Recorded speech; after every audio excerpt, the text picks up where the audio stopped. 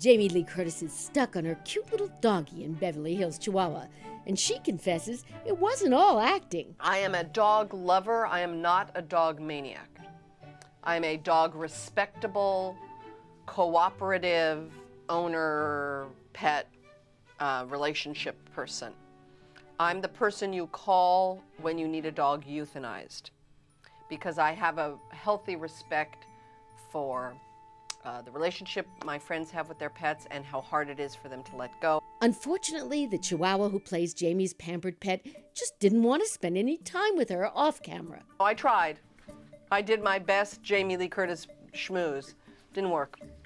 I brought nice treats, I brought little stuffed animals, nothing. You know what? She liked me until her trainer said stop liking me.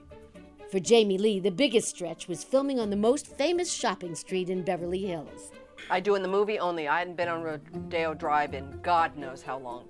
The day I had to walk down Rodeo Drive.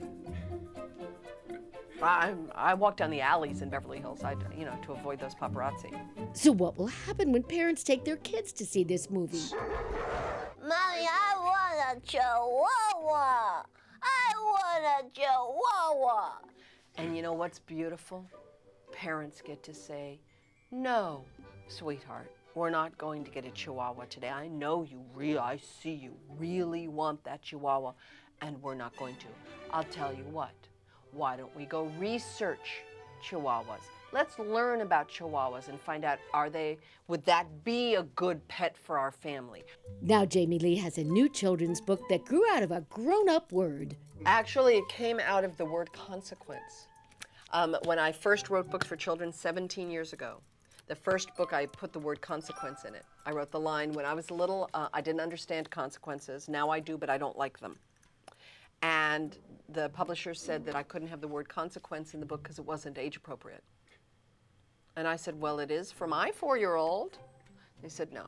So at the time, it was my first book. I went, okay.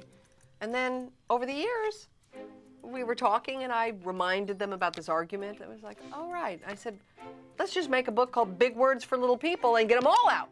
So we'll put consequence and appropriate and inappropriate and, and persevere and respect and privacy and, you know, important words for children to know.